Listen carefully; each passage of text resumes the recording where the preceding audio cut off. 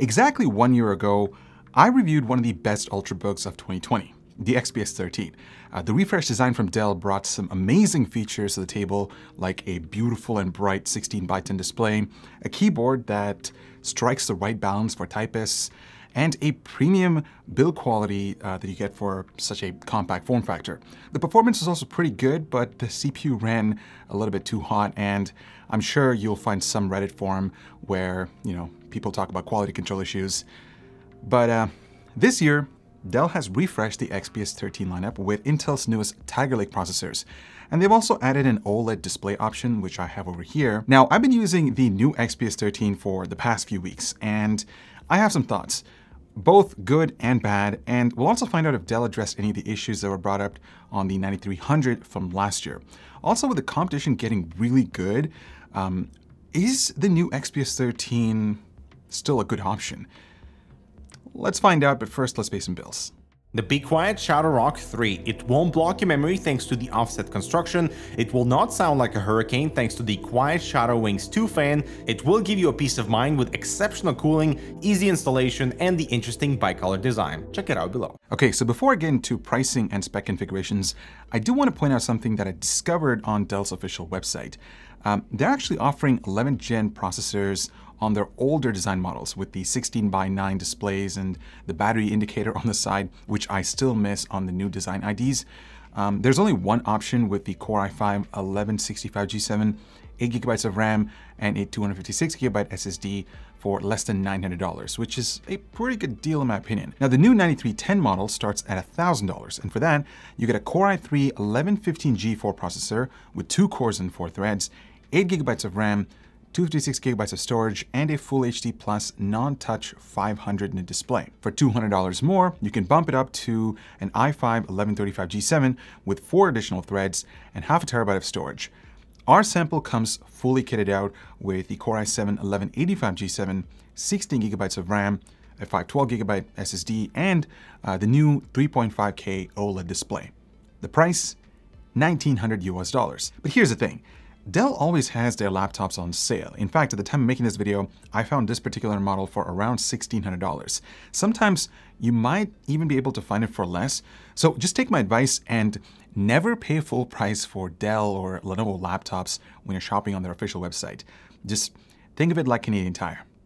I think most Canadians will get that reference. Anyways, let's start off with exterior impressions. And well, not a lot has changed from the 9300. You still get this beautiful CNC milled aluminum unibody construction throughout the whole chassis. The hinge still feels the same, it's very rigid and smooth with no signs of wobble, even when you use the display as a touch interface. If you recall watching my previous XPS 13 review, uh, I mentioned how the lid wouldn't stay flush to the body, uh, which bothered me quite a bit, but that issue has been addressed on the newer model. It's magnetic and you can open the lid with one hand, uh, so that's nice. It weighs around 2.8 pounds, which is slightly heavier than the ZenBook 13 OLED that I checked out recently, but it's still very thin, coming in at 0.58 inches or 14.8 millimeters. I had no issues fitting this thing in my messenger bag that I used to carry with me every day between home and my office. So, you know, it's small and very compact. I love this form factor. The interior space has also remained unchanged. Dell uses the same edge-to-edge -edge keyboard layout. I love how big the keys are and the spacing is adequate. I never found myself making any typos. The keys are excellent. It uses the maglev system found on the XPS 15 and 17. You get great feedback uh, and a very satisfying feel when you bottom out. Seriously, this is one of the best keyboards that you can find for an Ultrabook. The trackpad is still awesome. You still get that super smooth surface with the tactile integrated left and right buttons. Uh, also, I didn't experience any unregistered clicks as I did with the XPS 15 and 17, but that makes sense because the trackpad on this is significantly smaller compared to those laptops. The carbon fiber palm rest is ridiculously comfortable to type on. I honestly just love writing out scripts and stuff like that because, like I said, it just feels so smooth and it does a really good job resisting uh, finger oil, but also it's very easier to clean as well. The built-in fingerprint reader on the power button works 80% of the time. You see, sometimes Windows just refuses to use that type of authentication, so I just have to force myself to use the password to get in. But if you use Windows Hello uh, with the infrared sensors, it works really well. You just, you're automatically in once you open the lid. So yeah, there's that. So this is the webcam test on the XPS 13. Uh, the quality is pretty much the same compared to last year's XPS. I mean, Dell hasn't done any significant changes compared to that model. Uh, it's, like I said, it's passable, but at this point, you know, I think it's time for notebook manufacturers to just step up and you know, improve the quality of these sensors because everybody is trying to use them these days. You know, working from home is the norm, so yeah, maybe they should just step it up. The speakers sound really good. In fact, they're positioned in such a way where the sound just sort of bounces to the side off the surface and it gives you really great bass response with good clarity in the high ends. Um, it's really an awesome machine for content consumption and just doing a lot of media related stuff. All right, let's talk display. Dell added a new 3.5K OLED option to the XPS 13, which does a few things differently compared to the standard 1200p non-touch option. The first thing is that it's much sharper given the higher pixel density, and it scales really well within Windows. It also offers deeper blacks, just like AMOLED panels on smartphones, along with vibrant colors. For my analysis, it covers 100% sRGB, 96% Adobe RGB, and 100% DCI-P3. And when you compare that to the standard display, it's an incredible upgrade uh, to edit photos and other types of content that require precise color accuracy. The only thing is that you'll sacrifice on brightness because the 1200p and 4K options go as far as 500 nits, whereas this OLED model uh, only got as far as 387 nits of peak uh, level brightness from my test. Um, it is above average and Dell has applied an anti-reflective coating to cut down as much as reflection as possible, so it works pretty well for outdoor use. Now, there's always a question of burn-in for OLED displays, and I was curious about it as well, so I reached out to Dell and this is what they told us. Our display partners are developing more efficient OLED materials that go into the panels themselves. Additionally, they are implementing burn-in compensation algorithms that are built right into the panel's technology. As for software solutions, the operating system and graphics partners are implementing tweaks where they avoid long static icon exposure by shifting pixels periodically, this is actually done in a way that isn't noticeable by the end user. So it does look like they've taken care of that concern, which is kind of nice. I should also mention that when I loaded up Premiere Pro, the graphics driver crashed, resulting in this. Yeah, it's not a pleasant experience when you're trying to get any work done. I don't know if I have to blame Adobe for this one. In fact, I most likely would because every time when I open Premiere Pro on any laptop, it just crashes, something goes wrong. So yeah, if you do plan on doing a little bit of that or using Adobe programs, just, you know, keep that in mind. The port situation is the same. You only get two Thunderbolt 4 USB-C ports, a micro SD card reader, and an audio jack. Now, this is something that you'll have to compromise on when you decide to go super slim.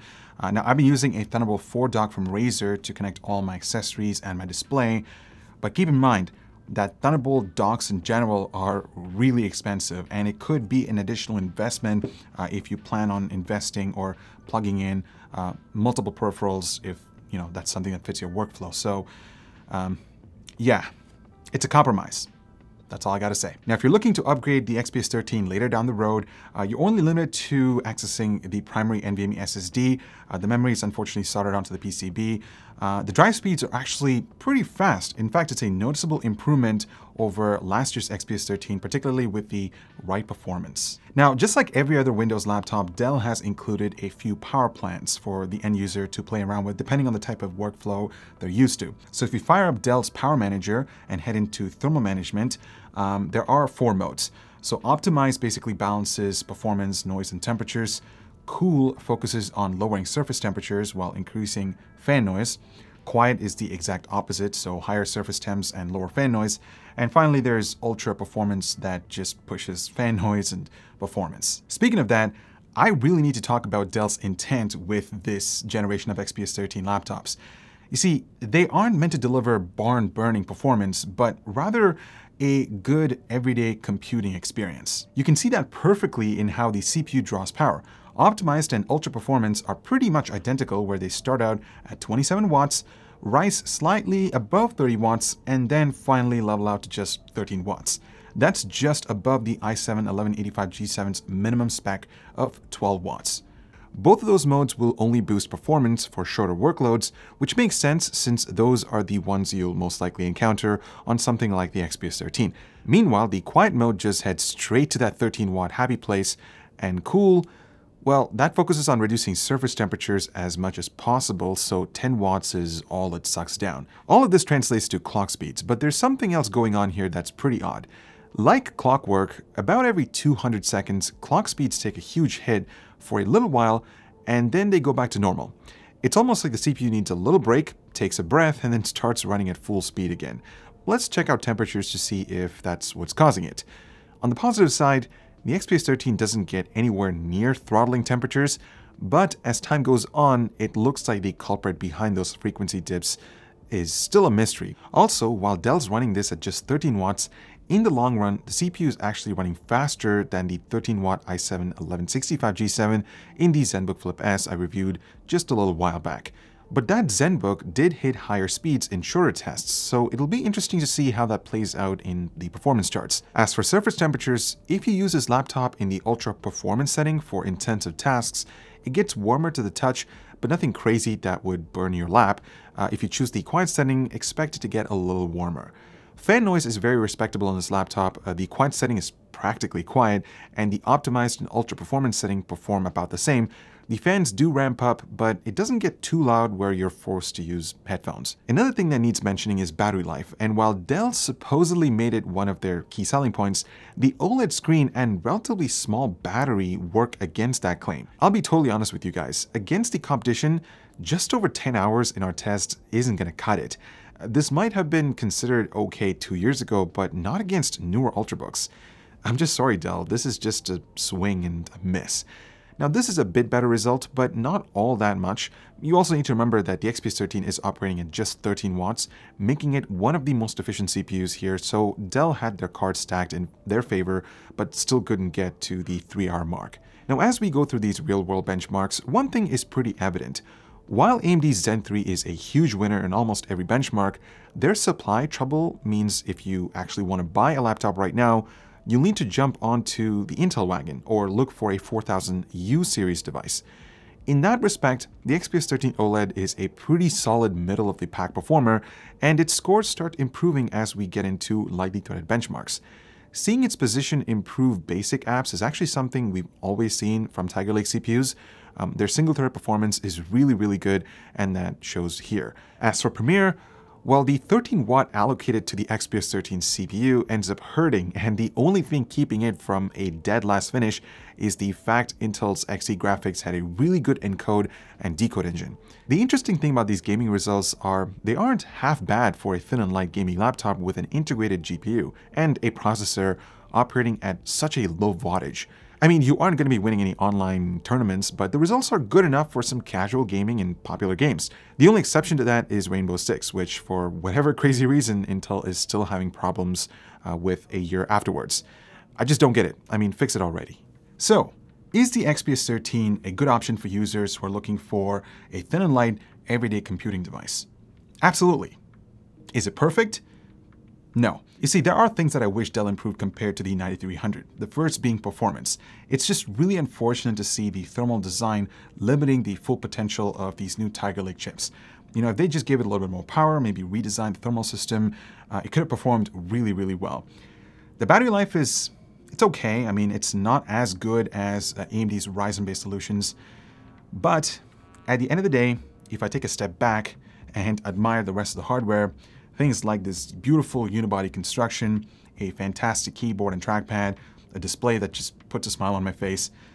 All those factors just make me want to continue using this thing every day. Obviously, I know what some of you guys might be thinking. Apple's M1 MacBook Pros or Microsoft Surface laptops are great alternatives as well, which I don't deny. In fact, I hope to get my hands on those devices at some point. But for now, I think it's time to ditch my Razer Book 13 for this laptop because it's compact, it fits my messenger bag pretty well, it fits my workflow. So on that note, thank you so much for watching. Let us know what you guys think about the XPS 13. And uh, yeah, if you're shopping an Ultrabook, would you consider this on the top of your list or is it a meh? I'm curious to know. And uh, I'll talk to you guys in the next one. Also, spend responsibly, my friends.